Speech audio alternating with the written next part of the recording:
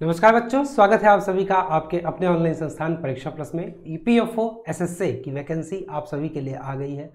और एक बहुत अच्छी वैकेंसी है, इस पूरे वैकेंसी में कि कैसे हम इसकी तैयारी करें क्या बेस्ट स्ट्रेटजी होनी चाहिए? पिछली बार क्या हुआ था? क्या गलतियाँ बच्चे किए थे? इस बार क्या गलती नहीं करना है? एनटीए ने पूरा पैटर्न बदल दिया है। समग्र जानकारी मैं आप सभी के लिए लेके आया हूँ। बहुत ही इंपॉर्टेंट आपके लिए सेशन है। और यकीन मानिए, अगर ये पूरा सेशन आप देख लेते हैं तो आपका कॉन्फिडेंस लेवल और आपको एक बहुत अच्छा मार्गदर्शन मिलने वाला है। तो सर्वप्रथम, यदि आप चैनल पर नए हो, चैनल को सब्सक्राइब अवश्य कर लो, क्योंकि ईपीएफए का ईपीएफओ जो भी है एसएससी का ए टू जेड आपकी यहाँ पे प्रिपरेशन स्ट्रेटजी हो सकती है, तैयारी हो सकती है उसमें सारे कड़ी सब कुछ आपको परीक्षा प्लस चैनल पे मिलने वाला है।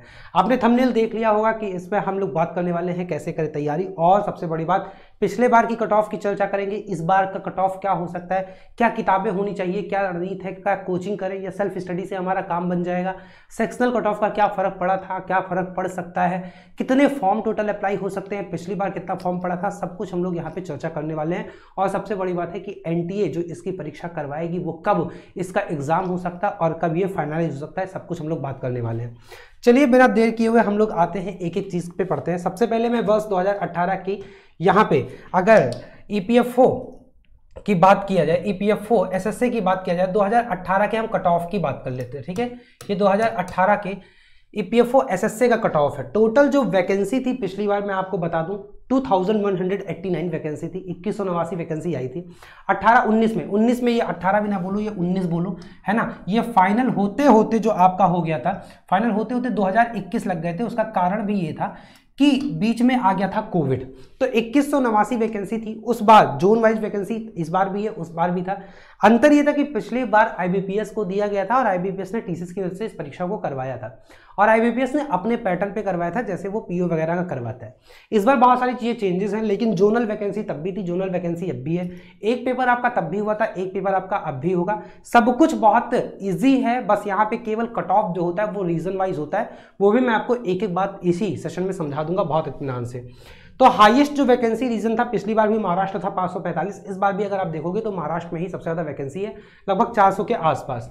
उत्तर प्रदेश में पिछली बार तीन सौ तिरपन वैकेंसी थी, इस बार भी लगभग 200 के आसपास वैकेंसी है। जो लोवेस्ट वैकेंसी रीजन था, सबसे कम वैकेंसी वाला जो रीजन था, वो कौन सा था? पंजाब था। और जो टोटल फॉर्म पिछली बार पड़े थे, वो एक दशमलव दो लाख पड़े थे। ये मैं आपको बता दूँ। और पेपर में जो अपियर हुए थे बच्चे, वो पंचानबे हज़ार चार सौ पंचानवे पंचानवे हुए थे। मैं पंचानवे हज़ार पाँच सौ अप्रॉक्स में इसे लिख के चल रहा हूँ। और जो फ़ेज़ वन में क्लियर किए थे फ़ेज़ टू के लिए वो बाईस हज़ार दो सौ उनतीस वैकेंसी थी। अब एक बात यहाँ पे समझिएगा कि पिछली बार ईपीएफओ ने क्या कहा था आईबीपीएस के माध्यम से कि हम जो फ़ेज़ थर्ड होगा, यानी कि जो स्किल टेस्ट है टाइपिंग टेस्ट है, उसके लिए वन इस टू फाइव की रेशियो में लेंगे जो कि इस वैकेंसी में वन इस टू टेन का रेशियो है।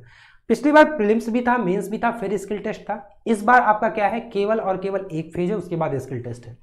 तो यहाँ पे अगर देखा जाए, बाईस बच्चों ने फ़ेज़ टू के लिए अपेयर हुए थे, उनमें भी लगभग बीस हज़ार बच्चों ने केवल एग्ज़ाम दिया था फ़ेज़ टू का। और उसमें से भी केवल 2500 बच्चे ही क्वालिफाई कर पाए थे 2400 समथिंग क्वालिफाई कर गए थे। हालाँकि अगर वन इस टू फाइव का रेशियो होता तो वैकेंसी थी दो हज़ार एक सौ नवासी। इसका अगर पाँच गुना करते तो लगभग दस बच्चों को सेलेक्ट होना था। तो आप ये समझ सकते हो कि इतने बच्चे पिछली बार क्लियर ही नहीं कर पाए थे एग्ज़ाम केवल 2500 बच्चे ही एग्ज़ाम क्लियर कर पाए थे। तो ज़ाहिर सी बात है कि इक्कीस में से 2500 बच्चे, अब इसमें कोई कंपटीशन था ही नहीं। स्किल टेस्ट के लिए इतने बच्चे क्या गए थे फ़ेज़ थ्री में यहाँ पे क्या थे फॉर फ़ेज़ थ्री क्वालिफाइड किए थे। मतलब 2500 बच्चे स्किल टेस्ट दिए थे इक्कीस के लिए। कॉम्पिटिशन एकदम ज़ीरो हो गया था। इसका कारण यह था कि पिछली बार बच्चों सेक्शनल कट ऑफ़ था। हालाँकि सेक्शनल कट ऑफ़ इस बार भी है, लेकिन पिछली बार जो ईपीएफओ ने निर्धारित किया था, वो सेक्शनल कट ऑफ़ जनरल के लिए चालीस और other categories S C S इनके लिए थर्टी परसेंट का किया था। इस बार भी आपका हो सकता है सेक्शनल कट ऑफ़ चालीस परसेंट ही रहे। तो चालीस परसेंट जब सेक्शनल कट ऑफ़ हो जाता है, तब बहुत समस्या हो जाती है, बच्चे सेक्शनल कट ऑफ़ में ही लटक जाते हैं और फाइनल हो नहीं पाते। तो इस बार मैं आपको पूरी स्ट्रेटजी शेयर करने वाला हूँ कि वर्ष 2023 में ईपीएफओ के एसएससी की तैयारी कैसे करनी है। सेक्शनल कट ऑफ़ से हमें कैसे बचना है और ओवरऑल कट ऑफ़ आपका कितना जा सकता है। अगर हम पिछली बार बात करें तो जो रीजन वाइज कट ऑफ़ था, वो लगभग 140 वालिस के आसपास है 230 में से। 180 बयासी तक गया था अलग अलग जोन का। लेकिन कारण ये था कि कई बार कुछ ऐसे जोन थे जहाँ पे एक ही या दो ही बच्चे थे तो ज़ाहिर से बात है वहाँ पे कट ऑफ़ क्या हो जाता है?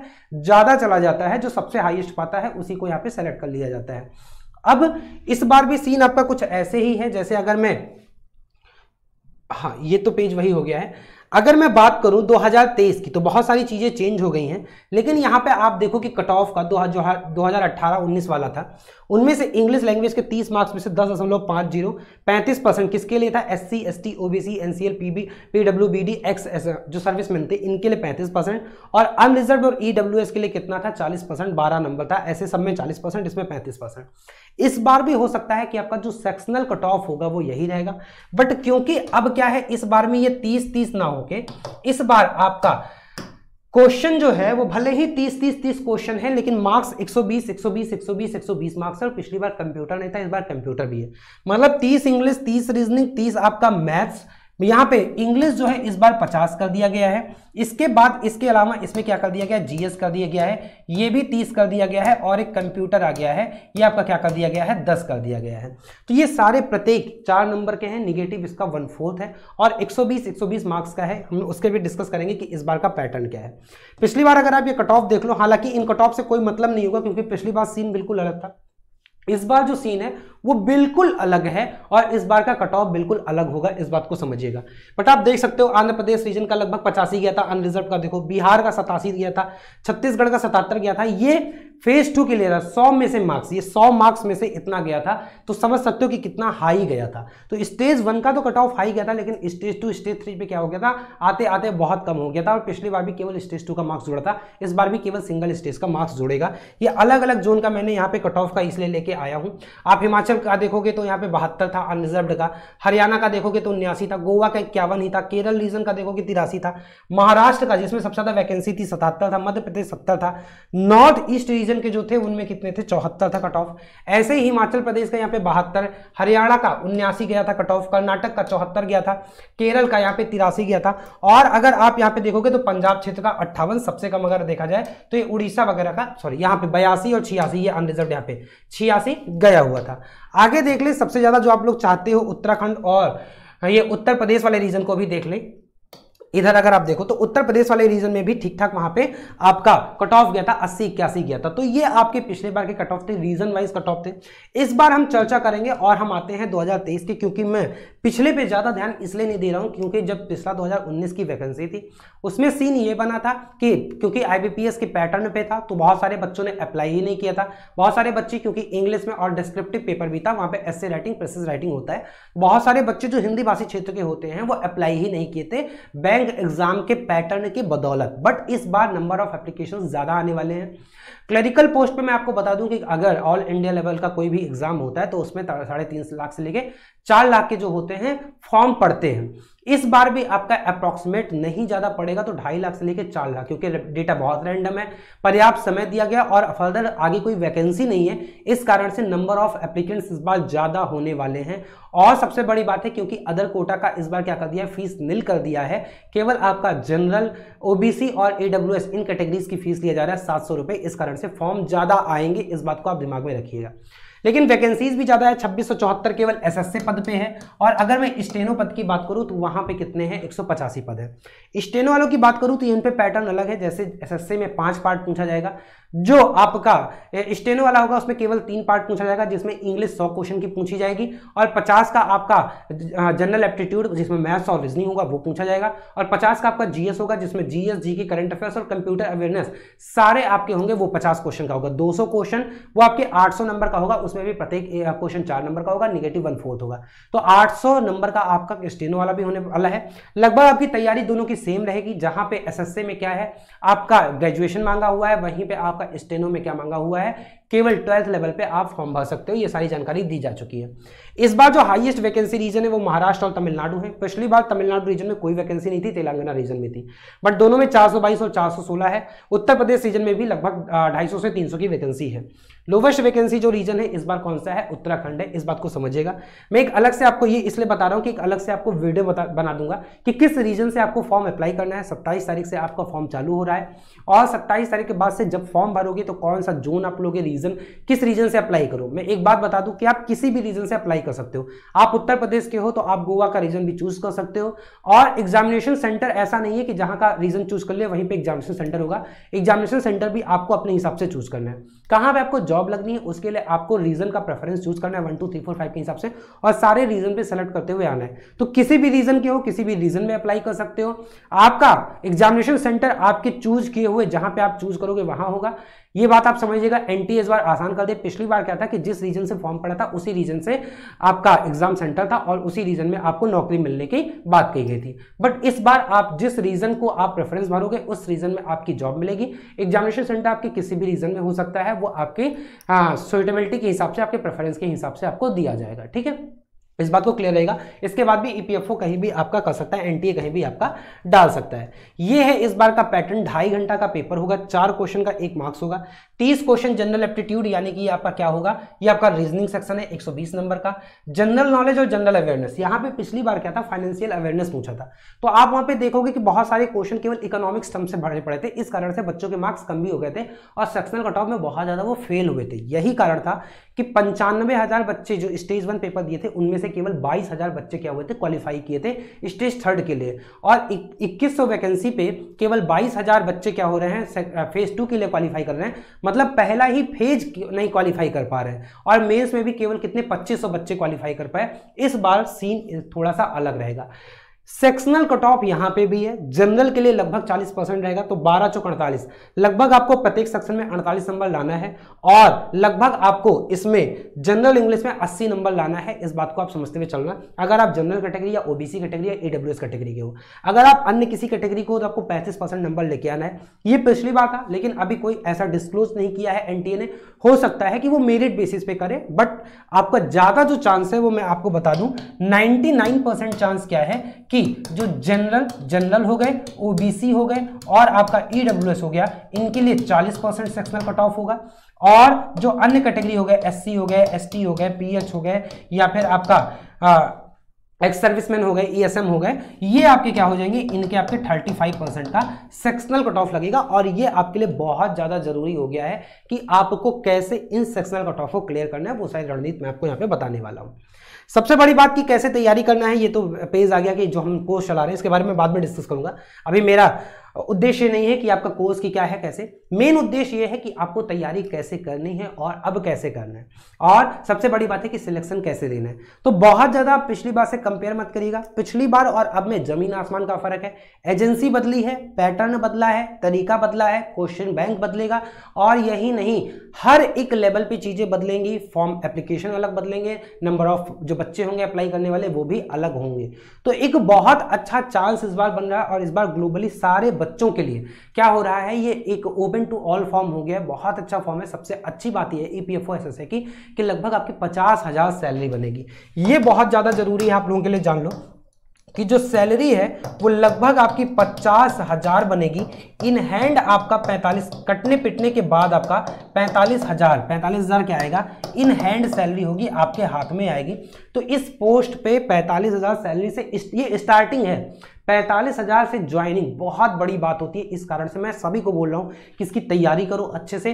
पूरी टीम जो परीक्षा प्लस है, आपकी तैयारी में शुरू से लेकर अंत तक आपके साथ रहेगी, पूरा गाइड करेगी, पूरा कंटेंट प्रोवाइड करने वाली है, पूरे क्लास प्रोवाइड करने वाली है ए टू जेड सॉल्यूशन आपको देने वाली है। तो आप तैयारी में कोई भी कमी मत रखो। अब कैसे करना है, इसके बाद की हम लोग यहाँ पे चर्चा कर लेते हैं। तो तैयारी शुरुआत करने से पहले, सबसे पहले हमें दो चीज़ों को कंसीडर करना है। पहला कंसीडर क्या करना है कि ओवरऑल कट ऑफ़ क्या रह सकता है? ओवरऑल कट ऑफ़ क्या रह सकता है? और इससे भी ज़रूरी यह है कि जो सेक्शनल कट ऑफ़ है, उससे हम लोग कैसे यहाँ पर निजात पाए सेक्शनल कट ऑफ़ हम कैसे क्लियर करें। क्योंकि अगर आप सपोज़ करो कि इस बार क्या है 600 नंबर है और 600 नंबर में अगर आपके 500 सौ, साढ़े पाँच नंबर भी आ जाते हैं और सेक्शन, किसी भी सेक्शन में आप फेल हो जाते हो तो क्या हो जाएगा, पूरे के पूरे एग्जामिनेशन में बाहर हो जाओगे और अधिकतम बच्चों के साथ यही होता है। तो सेक्शनल कट ऑफ़ जो है वो चालीस से लेकर पैंतीस है। सबसे पहले हम इस पर चर्चा करते हैं। हमारे पास सेक्शन कितने हैं? हमारे पास सेक्शन है मैथ्स और मैथ्स में अगर देखा जाए तो आपके 30 क्वेश्चन है। 30 क्वेश्चन का अगर 40 परसेंट लिया जाए तो आपके पास 12 क्वेश्चन आपको मिनिमम करना है। रीजनिंग रीजनिंग में भी आपको 12 क्वेश्चन करना है आउट ऑफ़ 30 जीएस में भी आपको 12 क्वेश्चन करना है। इंग्लिश में भी आपको क्या करना है? इंग्लिश में आपका थोड़ा ज़्यादा है। यहाँ पे हाँ इंग्लिश की अगर बात किया जाए तो इंग्लिश में आपके पास टोटल 50 क्वेश्चन है और 50 क्वेश्चन का 40 परसेंट निकाला जाए तो 20 क्वेश्चन आपको मिनिमम ये अनरिजर्व कैटेगरी के लिए बोल रहा हूँ, ऐसे ही बाकी जो अन्य कैटेगरी होंगे ग्यारह क्वेश्चन दस क्वेश्चन पे काम बन जाएगा। और एक कंप्यूटर है, क्योंकि यहाँ पे दस ही क्वेश्चन है तो दस क्वेश्चन का मतलब चार क्वेश्चन आपको यहाँ पे करना नेसेसरी है, अनिवार्य है। अब कंप्यूटर में 10 क्वेश्चन में चार क्वेश्चन करना कोई बहुत बड़ी बात नहीं है। इंग्लिश में भी आपके 50 क्वेश्चन में से 20 क्वेश्चन करना कोई बहुत बड़ी बात नहीं है। यहाँ पे सेक्शन कट ऑफ़ नहीं फंसेगा। इवन 30 क्वेश्चन में जीएस में भी 12 क्वेश्चन सेक्शन में ही नहीं अटेगा सबसे ज़्यादा जो बच्चे होते हैं, सबसे ज़्यादा बच्चे अटकते या तो मैथ्स में है या थोड़ा बहुत किसमें अटकते हैं, जीएस में अटकते हैं। और यहीं पर इनका सेक्शन कट ऑफ़ सबसे ज़्यादा क्या होता है? कम हो जाता है। रीजनिंग भी आपका स्कोरिंग सब्जेक्ट होता है तो यहाँ पे भी सेक्शन कट ऑफ़ की कोई दिक्कत नहीं होती। यहाँ पे पार कर ले जाओगे, कंप्यूटर में पार कर ले जाओगे, थोड़ी बहुत दिक्कत बच्चों को इंग्लिश में आने वाली है। तो यही अभी सेक्शनल कट ऑफ़ हमें कैसे क्लियर करना है, इस चीज़ को समझते हैं। पहली बात तो एनटीए ने सिलेबस डिस्क्लोज नहीं किया है कि इसका क्या हो जाएगा? सिलेबस क्या हो सकता है? ये आपको नहीं बताया गया है। तो सिलेबस आपका जैसे जनरल पेपर होते हैं, उसी हिसाब से आपका इस एग्ज़ाम का भी सिलेबस होने वाला है। मैथ्स में आपका बेसिक अरिथमेटिक मतलब कि आपका परसेंटेज हो गया प्रॉफिट लॉस हो गया, आपका टाइम वर्क टाइम वर्क हो गया, या फिर टाइम स्पीड डिस्टेंस हो गया, आपका एवरेज हो गया, आपका नंबर सिस्टम हो गया मैंसुरेशन हो गया, थोड़ा बहुत एडवांस टॉपिक को भी हम लोग यहाँ पे कवर करते चलेंगे, क्योंकि डिस्क्लोज नहीं किया है। तो एल्जेब्रा से क्वेश्चन ये पूछ सकता है, थोड़ा बहुत जोमेट्री से पूछ सकता है। और क्योंकि जनरल मेंटल एप्टीट्यूड बोला है मेंटल एप्टीट्यूड बोला है तो वहाँ पे ये क्या कर सकता है डीआई पूछेगा, या तो वो रीजनिंग में पूछ लेगा या तो मैथ्स में पूछ लेगा रीजनिंग में सिलेबस की बात करूँ तो ऑड वन आउट हो गया एनोलॉजी हो गया सिलॉक्स हो गया, ठीक है क्लासिफिकेशन के क्वेश्चन हो गए डायरेक्शन सेंस के क्वेश्चन हो गए कोडिंग डिकोडिंग के क्वेश्चन हो गए वर्बल नॉन वर्बल में जितने भी पार्ट हैं, उन पे क्वेश्चन होगा। नॉन वर्बल के थोड़े से कम पूछ जाएँगे वर्बल के आपके ज़्यादा क्वेश्चन पूछ जाएँगे, और सबसे ज़्यादा क्वेश्चन एनटीए रखता है नंबर सीरीज़ का अल्फ़ा न्यूमेरिक सीरीज़ इन सबके जीएस में बात करूँ तो जीएस में आपको कन्वेंशनली पार्ट को तो पढ़ना ही पढ़ना है, लेकिन सबसे ज़्यादा आपको दिमाग लगाना है करंट अफेयर्स और स्टैटिक जीके में। यहाँ से क्वेश्चन सबसे ज़्यादा होंगे। कंप्यूटर के लिए आप बिल्कुल परेशान मत हो, सबसे ज़्यादा क्वेश्चन आपके एमएस ऑफ़िस और इंटरनेट से होंगे, जो आशीष सर आपको बहुत बेहतरीन तरीके से कवर करवाने वाले हैं। रही बात इंग्लिश की तो 50 क्वेश्चन है, जिसमें आपके दो पार्ट है। एक आपका रीडिंग कंप्रहेंशन से क्वेश्चन होगा, वो भी ऑब्जेक्टिव बेस्ड क्वेश्चन होगा, और बाकी आपका ग्रामेटिकल होगा। तो इसमें अगर इंग्लिश की बात करूँ तो इसमें तीन पोर्सन है। एक तो आपका वो सेक्शन है, दूसरा आपका ग्रामर सेक्शन है और तीसरा आपका क्या है? रीडिंग कंप्रहेंशन सेक्शन है। इसमें से हो सकता है दस से बीस क्वेश्चन अभी क्योंकि ये पहली बार इस पैटर्न पे हो रहा है तो हो सकता है दस क्वेश्चन भी पूछे, हो सकता है बीस क्वेश्चन भी पूछे, और रीडिंग कंप्रहेंशन ही सबसे बड़ी आपका इंग्लिश में नैया पार लगाएगा। तो रीडिंग कंपेरिजन कैसे करना है? ये सारी चीज़ें मैं आपको जब इंडिविजुअल आपका स्ट्रेटेजी बनाया जाएगा सब्जेक्ट का, वहाँ पर बताऊँगा। लेकिन अभी आप मान के चलो कि यहाँ पे सबसे ज़्यादा नंबर उठने वाले हैं, और उसके बाद वो कैप से वो में जैसे क्या हो गया? वन वर्ड सब्सटीट्यूशन हो गया ईडम फ्रेजेस हो गया, यहाँ से आप आराम से कर सकते हो। मैं पूरा आपको एक बुकलेट दे दूँगा जिसमें से इंपॉर्टेंट वन वर्ड सब्सटीट्यूशन होंगे। और इस बात की मैं गारंटी दे रहा हूँ कि एक भी आपका ईडम फ्रेजेस या वन वर्ड सब्सटीट्यूशन या सिनोनिम्स या एंटोनिम्स उस पीडीएफ के बाहर नहीं होंगे। बस आपको वो केवल पढ़ लेना है। और अगर मैं, अगर तीस क्वेश्चन ग्रामर और वोकैब का पूछा तो कम से कम 18 क्वेश्चन वोकैब का होगा 12 क्वेश्चन ग्रामर का होगा। ग्रामर में जैसे क्या हो गया फिलर पूछ लेगा आपसे सेंटेंस इंप्रूवमेंट पूछ लेगा पीक्यू आर पूछ लेगा, जिसे पैरा जम्बर्ड कहते हैं। इन तीन पार्ट से आपका पूछेगा। और हो सकता है कि आपके फिलर में पार्ट ऑफ़ स्पीच या फिर इन सब पंक्चुएशन से क्वेश्चन डायरेक्टली पुट कर सकता है, क्योंकि एनटीए ऐसा क्वेश्चन पूछता आ रहा है। और एनटीए के पैटर्न को हमें समझना बहुत ज़्यादा ज़रूरी है। तो ये रही हमें सेक्शनल कट ऑफ़ में हमें इतना लेके आना है और कैसे लेके आना है। बस अगर आप समझो कि अगर मैथ्स में आपको सेक्शनल कट ऑफ़ क्लियर करना है तो आपको ज़्यादा कुछ नहीं, केवल दो चैप्टर आप एक नंबर सिस्टम अच्छे से कवर कर लो, है ना? मैं इसे दूसरे पेन से कर दे रहा हूँ, एक number system sectional cut off करने के लिए एक आपको नंबर सिस्टम अच्छे से तैयार कर लो। नंबर सिस्टम के बाद एक डीआई अच्छे से तैयार कर लो, अगर मैथ्स में ही पूछता है। ये दो पोर्शन और तीसरा पोर्शन जो होगा मेंसुरेशन केवल ये पोर्शन अगर आप तैयार कर लोगे, अभी मैं अरिथमेटिक को इसलिए नहीं बोला हूँ, क्योंकि यहाँ पे पढ़ना कम है नंबर ज़्यादा आएगा। अरिथमेटिक में आपको पढ़ना ज़्यादा है नंबर कम आएगा, इस कारण से ये तीन सेक्शन अगर आप अच्छे से मज़बूत कर लेते हो तो मैथ्स के सेक्शन कट ऑफ़ क्लियर हो जाएगा। रीजनिंग में आपको केवल क्या कर लो, आप सीरीज़ कर लो, आप डायरेक्शन के क्वेश्चन कर लो, आप ब्लड रिलेशन कर लो, जो आसान होते हैं, जो एकदम पैटर्न पे चलते हैं, जिनमें आपके क्वेश्चन फंसते नहीं है, और या फिर आप ऑड वन आउट ये ये अगर चार क्वेश्चन आप तैयार कर लेते हो तो इसका सेक्शनल कट ऑफ़ क्लियर हो जाएगा। जीएस में आप केवल करंट अफेयर्स और स्टैटिक तैयार करो। यहाँ पे मैं अभी ये नहीं बोलूँगा कि आप कन्वेंशन मतलब हिस्ट्री ज्योग्राफी पॉलिटी इनकी बात नहीं कर रहा हूँ। केवल और केवल आप करंट अफेयर्स पढ़ो स्टैटिक पढ़ो, आपका जीएस में अच्छा नंबर उठ जाएगा। और उसके बाद इंग्लिश में आपको केवल वोकैप्स और रीडिंग कंप्रेशन पर ध्यान देना है। अभी ग्रामर पर ध्यान नहीं दोगे तो आपका यहाँ पे सेक्शनल कट ऑफ़ क्लियर हो जाएगा। कंप्यूटर में आप जितना आशीष सर पढ़ाएँगे, ज़्यादा से ज़्यादा आपको किस पे फोकस करना है? केवल अगर ऑफ़िस पढ़ लोगे ऑफ़िस में भी कई सारे एमएस ऑफ़िस जिसे बोलते हैं इसमें सबसे ज़्यादा जो पढ़ना है आपको एम एस वर्ड पढ़ना है और एम एस पावर पॉइंट और एम एस एक्सल तीन टॉपिक को अच्छे से पढ़ लोगे तो आपका यहाँ पे भी सेक्शनल कट ऑफ़ क्लियर हो जाएगा। तो ये टॉपिक वाइज आपका सेक्शनल कट ऑफ़ क्लियर हो गया, लेकिन क्या केवल सेक्शनल कट ऑफ़ क्लियर करने से हमारा सिलेक्शन हो जाएगा? नहीं। हमें सिलेक्शन लेने के लिए हमें ओवरऑल कट ऑफ़ पे भी अच्छी मेहनत करनी पड़ेगी। ओवरऑल हम कट ऑफ़ कैसे क्लियर करें? तो इसमें पहले बात तो तीन स्टेज था, प्रीलिम्स था, उसके बाद फिर मेंस था, उसके बाद था। अब एक ही स्टेज है तो एक ही स्टेज में आपकी कट ऑफ़ हाई रहने वाली है। पहली बात तो मैं बता दूँ वन टू टेन रेशियो में होगा। अगर मैं एसएससी की बात करूँ तो छब्बीस और अगर मैं किसकी बात करूँ? स्टेनो की बात करूँ तो उसमें से एक सौ पचासी। यानी टोटल 2800 पद हैं और 2800 पद में से अगर 10 गुना किया जाए, अट्ठाईस उनसठ पद है 10 गुना किया जाए तो लगभग अट्ठाईस हज़ार बच्चे, अट्ठाईस हज़ार बच्चे जो होंगे, वो स्किल टेस्ट के लिए क्या किए जाएँगे? बुलाए जाएँगे। और अगर आपका फॉर्म मिनिमम रहता है, मिनिमम फिर भी मैं बोल रहा हूँ 2.5 लाख से कम तो फॉर्म नहीं पड़ने वाले हैं इस बार। इस बात की भी गारंटी है, ज़्यादा से ज़्यादा भी चार लाख से ज़्यादा फॉर्म नहीं पड़ेगा, ये मैक्सिमम लिमिट है। और जो मिनिमम लिमिट है वो ढाई लाख की है, जब फॉर्म भर जाएगा तो मैं आपको बता दूँगा कि कितने फॉर्म इसमें भरे हैं, उसके लिए भी आप चैनल से जुड़े रहना ज़रूरी है बहुत सारी इंफॉर्मेशन मैं आपको दे दूँगा। तो अट्ठाईस बच्चों को स्टेज टू के लिए मतलब टाइपिंग के लिए क्वालिफाई होना है। टाइपिंग में आप इंग्लिश करो या हिंदी करो, दोनों कर सकते हो। इंग्लिश में कोई फॉर्म नहीं होता हिंदी में क्योंकि डिस्क्लोज नहीं किया है तो एनटीए हमेशा मंगल इंस्क्रिप्ट पे, यानी कि यूनिकोड पे करवाता आ रहा है तो आप उसी पे हिंदी का प्रैक्टिस करते रहो, वही आपका मान्य भी होगा, आगे मैं उसका भी आरटीए के थ्रू इन्फॉर्मेशन निकाल के आपको बता दूँगा। तो आपको टाइपिंग के लिए अभी से चिंता नहीं करना है, पहले आपका इस रिटर्न एग्ज़ाम हो जाएगा, उसके बाद आपका टाइपिंग होगा। कब टाइपिंग होगा ये भी मैं बता दूँ फॉर्म आपका 27 तारीख से चलेगा, उसके बाद फिर आपका अप्रैल तक पूरा फॉर्म चलेगा, उसके दो महीने बाद आपका रिटर्न टेस्ट होगा। दो महीने बाद मतलब कि मई जून जून लास्ट में या फिर आपके जुलाई के फ़र्स्ट वीक में आपका पेपर पड़ सकता है, उसके एक महीने बाद आपका रिज़ल्ट आएगा रिज़ल्ट जल्दी निकाल देता है और फिर एक महीने बाद आपकी टाइपिंग हो जाएगी मतलब अगस्त से सितंबर में आपका टाइपिंग होगा। तो टाइपिंग के लिए आपके पास अभी भी चार से पाँच महीने हैं। इंग्लिश वालों को तो केवल थोड़ा बहुत प्रैक्टिस करते रहो, हिंदी वाले जो नहीं सीखे वो भी सीख लो, और अगर नहीं हिंदी सीखे हो तो आप इंग्लिश सीखो, वो ज़्यादा बेटर है। वो आप आराम से कर सकते हो। तो इतने फॉर्म पढ़ेंगे आप, इतने फॉर्म में क्योंकि सेक्शनल कट ऑफ़ है तो मैं इतने गारंटी के साथ कह रहा हूँ, साठ परसेंट से ज़्यादा बच्चे क्या होते हैं डिस्कालीफाई हो जाते हैं। मतलब चालीस परसेंट बच्चे केवल पास करेंगे। अगर मैं मोटा मोटा एवरेज तीन लाख ले लूँ तो एक दशमलव दो लाख बच्चे ही क्या हो जाएँगे, वहाँ पे क्वालिफाई करेंगे, सिर्फ़ सेक्शनल कट ऑफ़ क्वालिफाई करेंगे। और उसमें भी एक लाख दो हज़ार मतलब उससे तीस हज़ार बच्चों को क्या करना है स्टेज टू में मतलब वन फोर्थ का ही क्या है आपका कंपटीशन है। मतलब अगर फाइनल कंपटीशन देखा जाए तो चार सीट में आपको एक सीट का कंपटीशन ऑन एवरेज बनता है। और इस एल्गोरिदम के साथ आपको तैयारी आगे बढ़ानी है।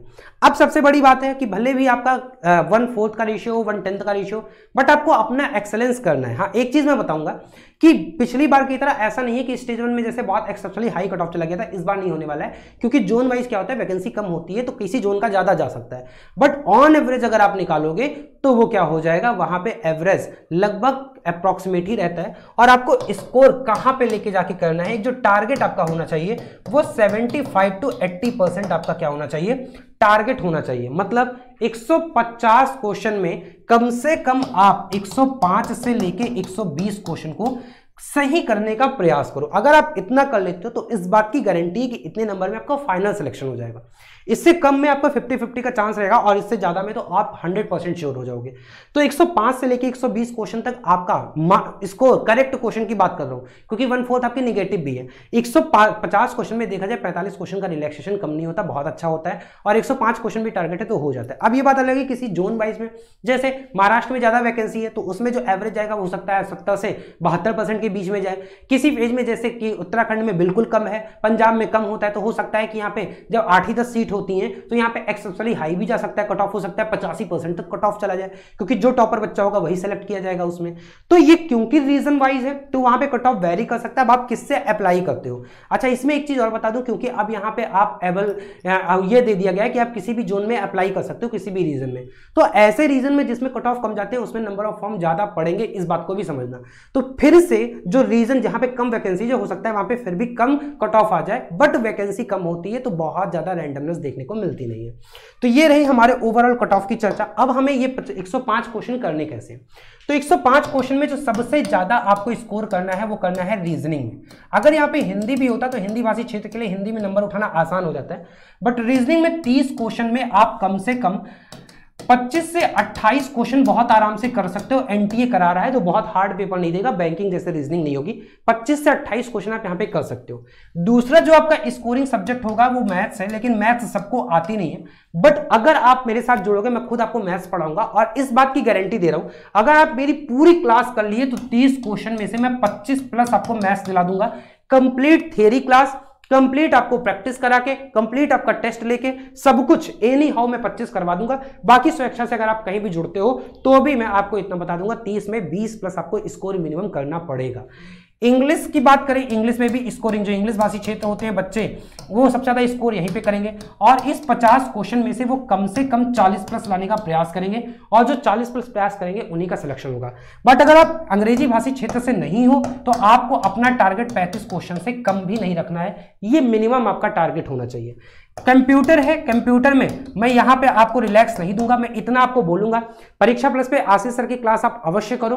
और अगर इतना कर लोगे तो ये 10 क्वेश्चन में 8 से 9 क्वेश्चन गारंटी के साथ, वो एक दो क्वेश्चन जो जा भी रहा है ना, वो इसलिए जाएगा कि वो आपकी गलती से जाएगा। वरना अगर आप पूरा पढ़ लोगे तो दस के दसों क्वेश्चन आशीष सर जिस लेवल पर पढ़ाएँगे कंप्यूटर वो खुद ही एमटेक है कंप्यूटर साइंस है तो आपका कवर करवा देंगे। बहुत कम क्लास में, ऐसा नहीं कि इसके पीछे हम सौ क्लास देते वो मैं नहीं करूँगा।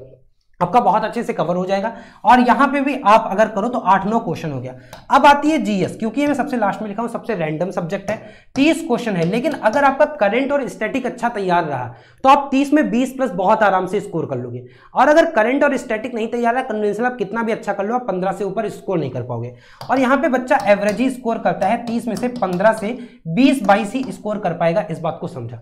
तो ये अगर आप पैटर्न बना के लेके चलते हो, ये आपका टारगेट लेके चलते हो तो पच्चीस पच्चीस, पचास पचास पचास और चालीस, नब्बे नब्बे और दस अगर लिया जाए तो यहाँ पे सौ, एक सौ अट्ठानबे क्वेश्चन अट्ठानबे और मिनिमम अगर पंद्रह लिया जाए तो अट्ठानबे और पंद्रह एक सौ बारह क्वेश्चन, एक सौ बारह क्वेश्चन आपके यहाँ पे सही होते हैं। तो ये आपकी एक स्ट्रेटेजी होनी चाहिए। अब सबसे बड़ी बात है कि कहने में तो बहुत आसान है सर कि हम इतने क्वेश्चन ले लाएँ कहाँ से, कवर कहाँ से करें?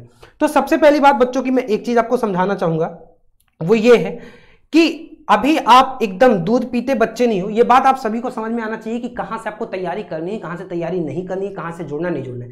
मैं आपको थोड़ा सा हिंट दे देता हूँ। पहली बात तो मैं आपको बता दूँ कि टीम परीक्षा प्लस खुद ही बहुत मिनिमम फ़ीस में, बहुत मिनिमम फ़ीस में इसका एकदम टारगेटेड डेडिकेटेड बैच लेके आ रही है।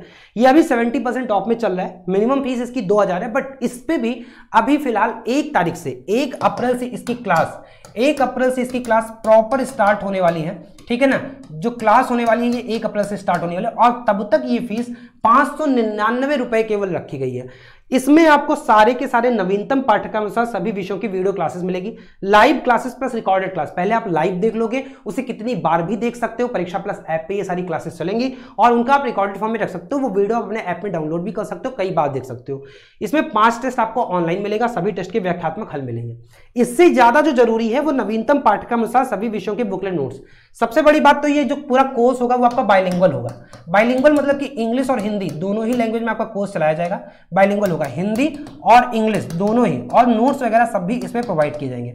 अब जब बात नोट्स की आती है तो मैं यहाँ पे आप बता दूँ, बहुत सारी ऐसी संस्थाएँ होंगी, बहुत सारे ऐसे पब्लिकेशन होंगे, जो तुरंत ही ये बोलने लगते हैं कि हाँ हमने ईपीएफओ की किताब निकाल दी, आप बुक स्टोर पर जाओगे ईपीएफओ की किताब ढूंढोगे और आप वहाँ से खरीद लेके आ जाओगे। लेकिन एक मिनट के लिए मैं आपको बोलूँगा, आप खुद समझदार हो इतना सोचो कि पैटर्न पिछली बार अलग था इस बार अलग हो गया। चार दिन पहले यह पता चला है कि ईपीएफओ का पेपर एग्ज़ाम आने वाला है एसएससी का। और उसके बाद पैटर्न बदलने वाली बात सबसे पहले मैंने ही बताया था आपको कि एनटीए का आ, करा रही है तो इस बार पैटर्न बदलेगी कंप्यूटर भी इसमें होगा। तो चार दिन में पाँच दिन में कौन सी किताब छप जाती है कौन सी किताब वहाँ पर इतने बड़े वो होते हैं कि नहीं पूरा और जबकि सिलेबस भी डिस्क्लोज नहीं किया गया है। तो होता क्या है? बुक्स की मार्केट की मैं बात बता दूँ कि कंटेंट नहीं बदलता, केवल कवर बदलता है। और आपको केवल छलावा में किया जाता है कि हाँ भैया, पिछली बार की जो किताब है या उनके पास कोई कन्वेंसी किताब है अच्छा ये है, पचास क्वेश्चन के हिसाब से पूरा जीएस उठा के दे दो, पूरा उठा दे दो, उस पर नहीं रिसर्च करेंगे कि एनटीए क्वेश्चन कहाँ से उठा रहा है क्वेश्चन बैंक कहाँ से बना रहा है। मैं एक हिंट आपको दूँगा कि एनटीए मैक्सिमम जो क्वेश्चन बना रहा है, वो एनसीआरटी पे बना रहा है। एनसीईआरटी के क्वेश्चंस उसके टेक्स्ट बुक के जो येलो पेजेस होते हैं या येलो बॉक्सेस होते हैं पर्पल बॉक्सेस होते हैं, वहाँ से क्वेश्चन डायरेक्ट उठ रहे हैं। ये जो हमारी टीम की एनालिसिस है, उसके भी यहाँ पे बता रहा हूँ और मैं गारंटी के साथ आपको दिखा भी दूँगा, पूर्व में जितने भी एनटी की हमने तैयारी करवाई है, उन सारी चीज़ों में। तो यहाँ से एनसीईआरटी पे वो क्वेश्चन डायरेक्ट उठा लेता है, या उनके टेक्स्ट से क्वेश्चन उठा लेता है, उनके बीच से कंटेक्ट से क्वेश्चन उठा लेता है, यहाँ से बनता है। कहाँ से आप इस चीज़ को आप बना दोगे? तो यह पर्याप्त समझदार हो कि हमें बुक की कवर देख के किताब लेना है, या फिर आपको कुछ सोच समझ के किसी ऐसी संस्था से जुड़ना है। मैं एक बात बोलूँगा, अगर आप सेल्फ स्टडी करना चाह रहे हो, अगर आपके पास पाँच सौ नब्बे में बिल्कुल स्वैच्छिक है बिल्कुल मत करो बट आप किसी के बहकावे में मत आओ। अन्य संस्थाएँ जहाँ पे चार हज़ार, पाँच हज़ार का कोर्स चला रही तीन हज़ार का कोर्स चला रही मैं सब जानता हूँ। ऐसा नहीं कि मैं कुछ जाने रहा हूँ, या मैं मार्केट को देख नहीं रहा हूँ, या अन्य संस्थाओं को देख नहीं रहा हूँ, और मैं बुक स्टोर की बात जान रहा हूँ। आपकी एक किताब एक किताब पाँच सौ निन्यानवे की नहीं आएगी, सारी किताब लेने जाओगे, कम से कम ढाई से तीन हज़ार की किताब आएगी। लेकिन, टीम परीक्षा प्लस आपकी बिल्कुल मैं ये तो इतना बोलूँगा, पहली बात तो मैं अभी तुरंत आपको किताब दे नहीं पाऊँगा।